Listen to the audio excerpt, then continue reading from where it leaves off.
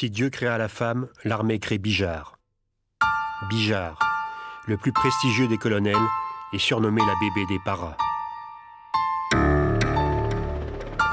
Les parachutistes forment le fer de lance des troupes opérationnelles. Leur chef, leur esprit de corps, leur réputation et leur méthode en font des soldats à part, une troupe d'élite et fiers de l'être.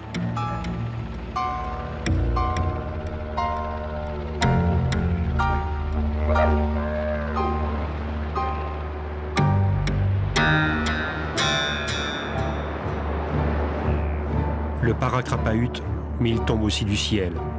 Pour la première fois en Algérie, l'hélicoptère est utilisé systématiquement. Arme moderne, arme mobile, qui porte la guerre dans les contrées les plus reculées.